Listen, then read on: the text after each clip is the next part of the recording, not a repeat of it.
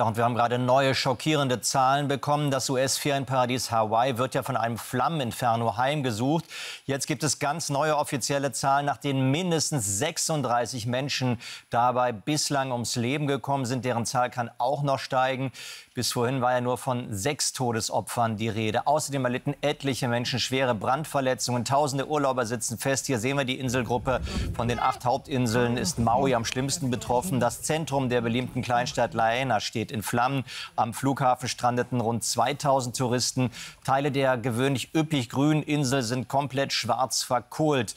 Und der malerische Küstenort Laen wurde durch das Feuer vollkommen zerstört. US-Präsident Joe Biden rief nun den Notstand aus. Und das hilft, dass die Nationalgarde und die Marine die örtlichen Einsatzkräfte ab sofort im Kampf gegen die Flammen unterstützen können.